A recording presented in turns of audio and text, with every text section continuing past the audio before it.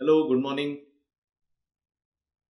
We are all here to discuss now December 13 question paper. So this, of course, for all the IFRS learners, experts, users. We're talking about ACCA London Diploma in IFRS December 2013 question paper. Very interesting. This time ACCA Institute had been very prompt and the exam happened on 10 December and the paper was on their website on 11 December. Appreciable. Congratulations to ACCA London.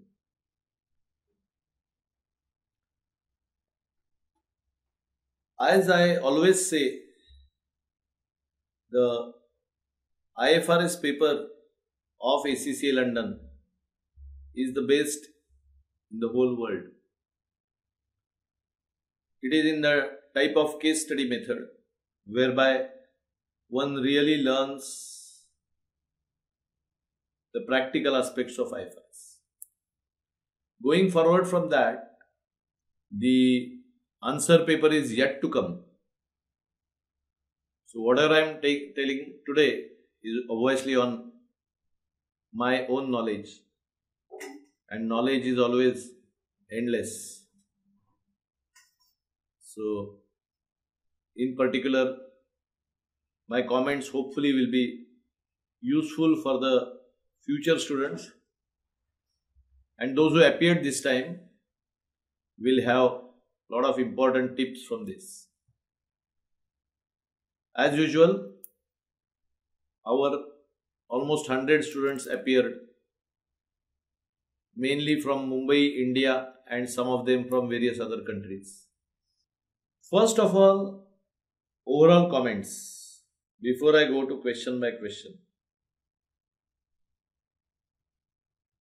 This was perhaps the most easy paper in last, may I say, all the years because this exam started in 2001 and this is perhaps the easiest paper. Secondly, this paper can be called difficult in some respects, but those who had done past eight papers, for them it was a cakewalk. Why? Because I would say almost all, almost all the questions were repeated. If at all one has to somehow pick and choose the exception, it was the theory of 5 marks on deferred tax, which was something new.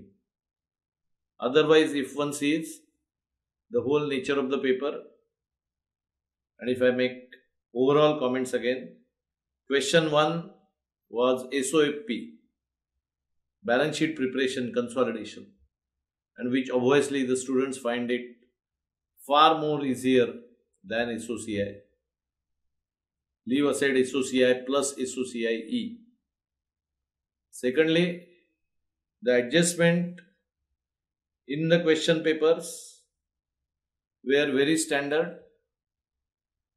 There was fair valuation as usual. There was no impairment at all.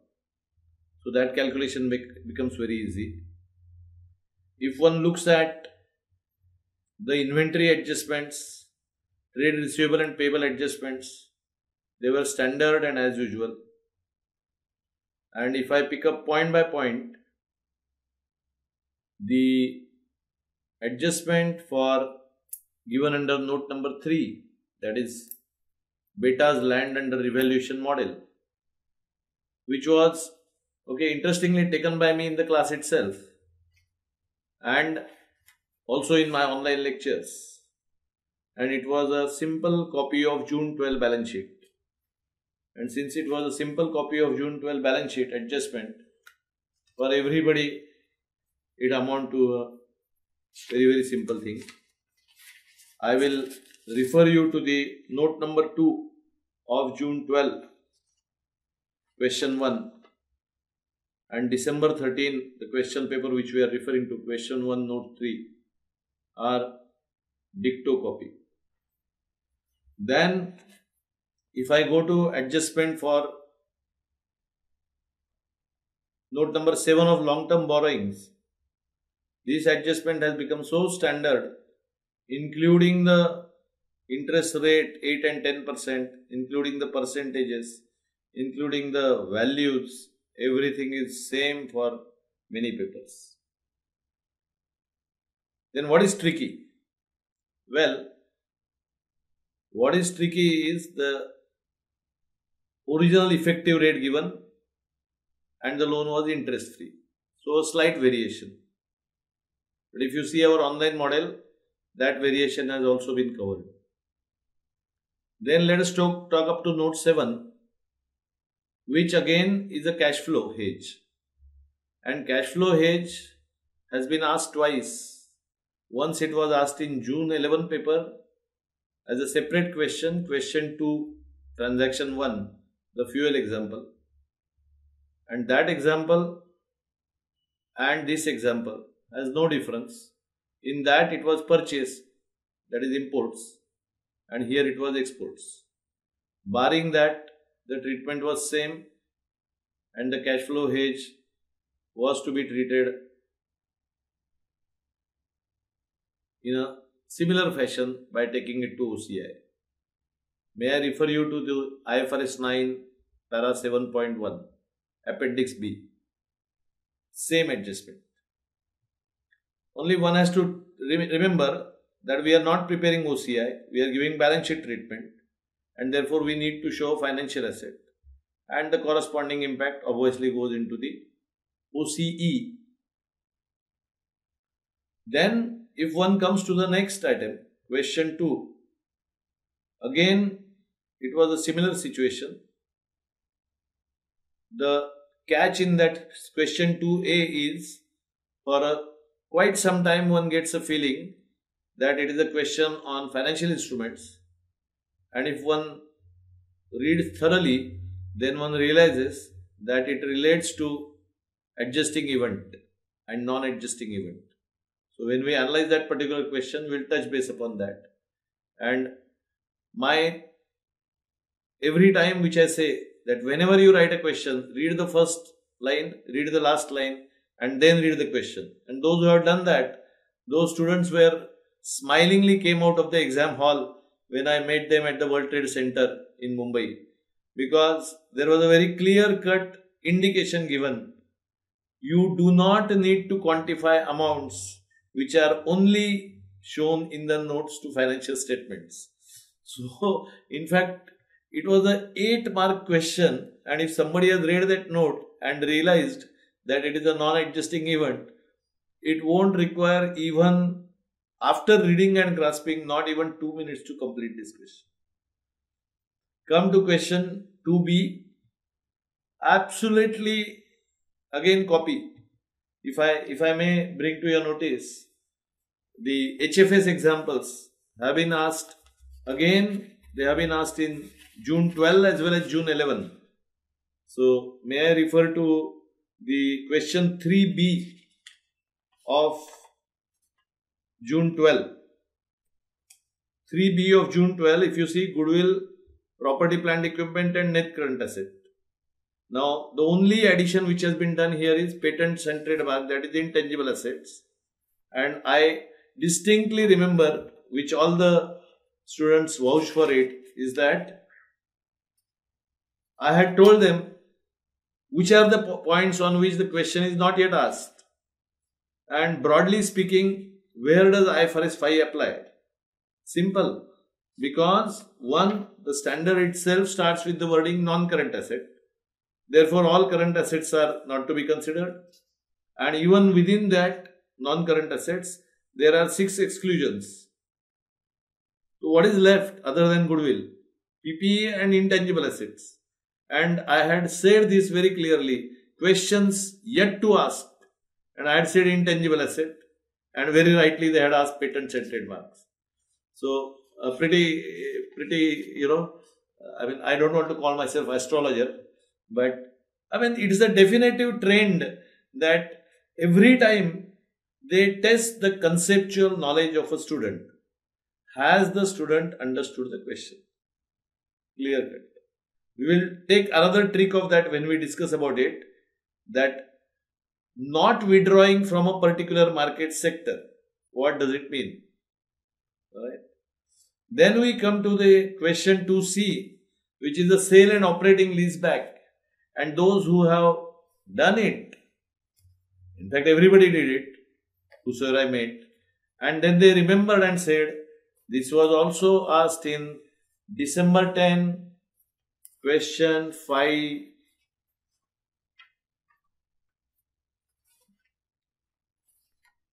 if, if, if I may bring to your notice, December 10 was a completely leases focused question. And uh, here we will find that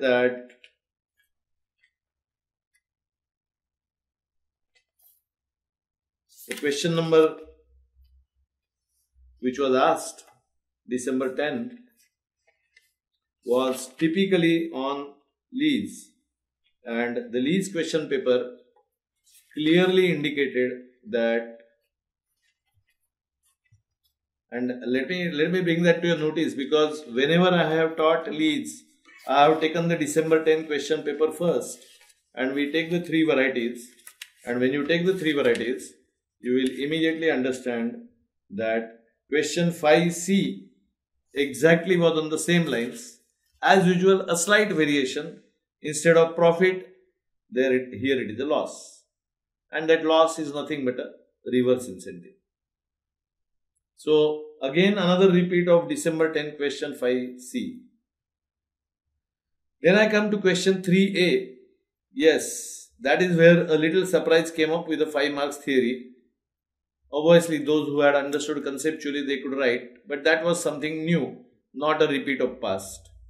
And then when comes to question 5b, sorry, the question 3b which talks about the deferred tax practical, again we will realize that this is nothing but simply picked up from question 5b of December 09.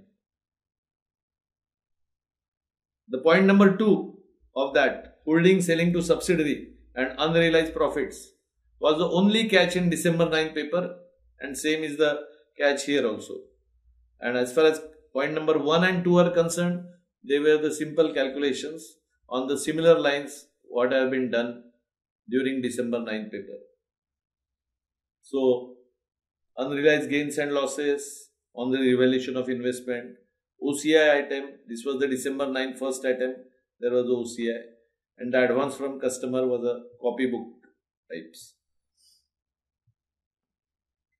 Then we go to question 4. Now this is again another repetition and if you see word by word, if I may say, uh, the question paper of June 10, yeah, I, I still have this paper. June 10 paper has a PPE question asked, question 5, and which talks about roof as a separate component accounting. It also talks about car parking, which was not to be considered. Then it talks about the relocation, opening ceremony costs.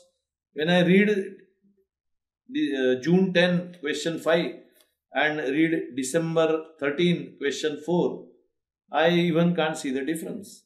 Again, borrowing cost capitalization. Let's go one by one. They have talked about purchased and leveling of land, which is to be taken under construction. Employee cost is given per month. Same thing. Overheads direct are given. Then there is a car parking income given, cost of relocating given, opening ceremony cost given, roof has a 20 years replacement, even in that question it was 20 years replacement, and the 40 years overall life, and the even the borrowing cost was at 8%. Uh, the demolition cost is given, uh, not the borrowing cost, but the de demolition cost is given for which present value is to be taken. So Again, and the loan is also given, borrowing cost at a percentage. So again, and calculate the carrying value on March 13, September 13. Luckily, the whole thing is starting from October. There is nothing. And the last, that is question 4b, was another, shall I say, a cake on the platter. That is one of the simplest example of the share based payment. The question was on options and the question was related to the incentives as well as share price, the market conditions to be ignored. And if I may remind you, this question has also come in and was taken both in our online lectures as well as it is asked in the past papers. So net net, those who have attended the online lectures and done perfectly, net net, those who have done the past question papers perfectly, for them the paper was a simple repeat. And when I say simple repeat, I mean so much of the repeat that really speaking there was hardly anything left. So may I draw your attention to question number 4b.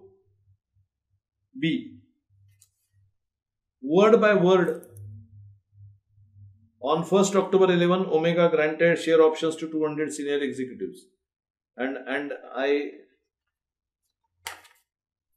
I might as well uh, compare this with the paper which has been asked a few years back.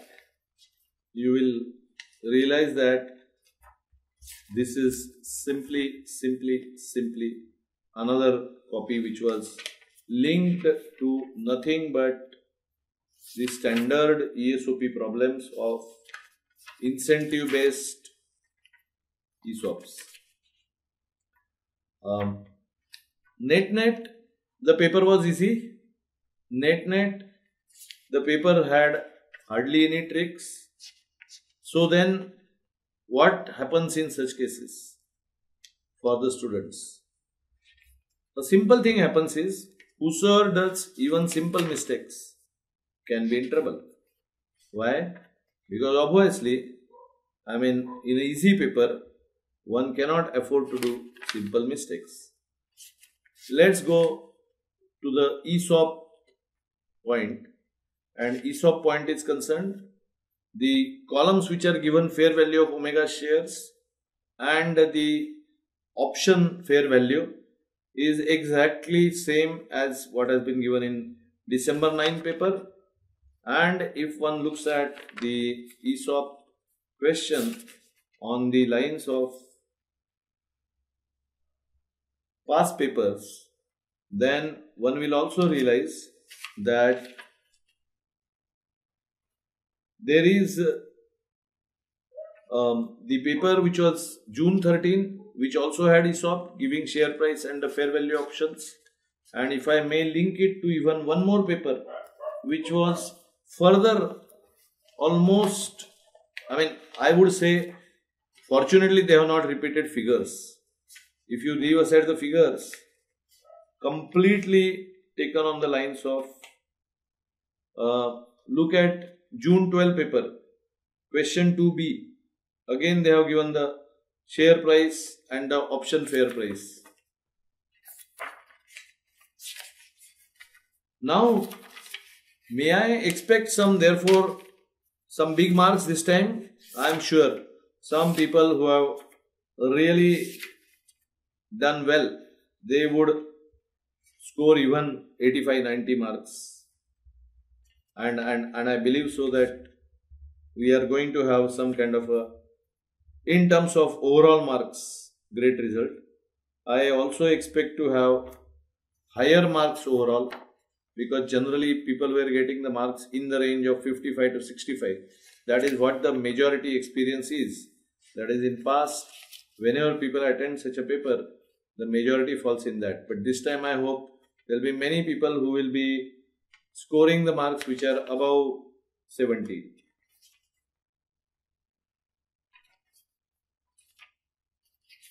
and uh, apart from that yeah, here is that paper. And uh, may I draw your attention to June 11 paper where question 4 transaction 1 talks about the cumulative profits range. And here also there is also a cumulative profit range. That time on 1st April 9, Omega granted option to 20 senior executive.